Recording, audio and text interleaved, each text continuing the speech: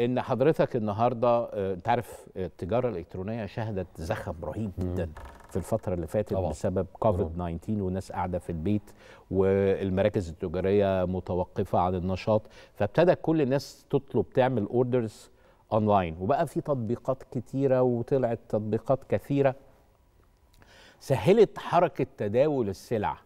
فبقت السلعه بتيجي من المخزن للمستهلك. ما بقاش في متجر لا المتجر مقفول. مش كده؟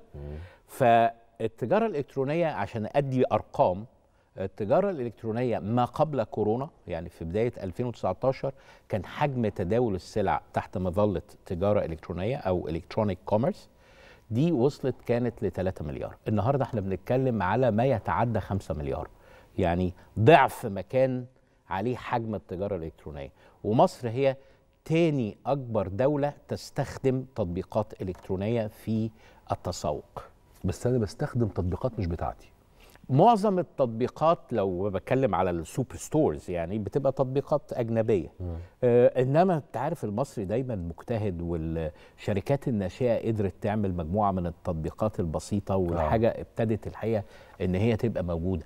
فسر الموضوع هو الإتاحة. طول ما أنت عندك إتاحة كل ما زودت حجم المتاجر حتى لو هي متاجر افتراضية.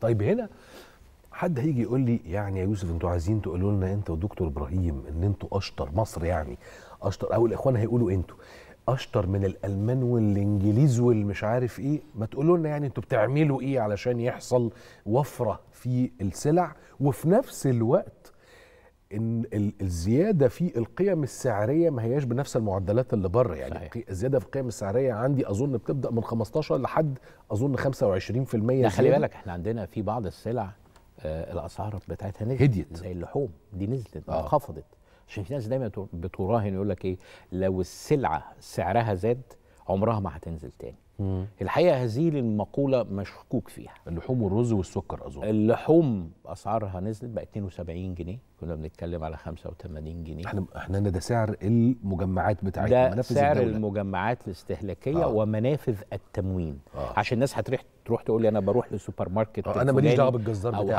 هايبر فار يعني. هايبر آه. ماركت الفلاني أو آه، الجزار الفلاني ده ده الحقيقة يعني حتى وإن كنا تدخلنا لما حصل زيادة سعرية غير مبررة في رغيف الخبز الأفرنجي أيوة. وتدخلت, وتدخلت الدولة, الدولة. بأدواتها وآلياتها صحيح. وطرحنا على المخابز الأفرنجي آه، سعر طن الدقيق منخفض وبالتالي رجع تاني كان الرغيف وصل لجنيه ونص صحيح. وجنيه 75 صحيح. رجع تاني إلى قواعده سالما. وتحدد الوزن بتاعه عشان برضه ما يتلعبش في الوزن. طبعا. لا، كل رغيف بيبقى له وزن وله قطر. آه. تمام. طبعا فكرة إن في بعض الناس بتغش ده ده وارد, بس يعني دايما الدولة لهم بالمرصاد.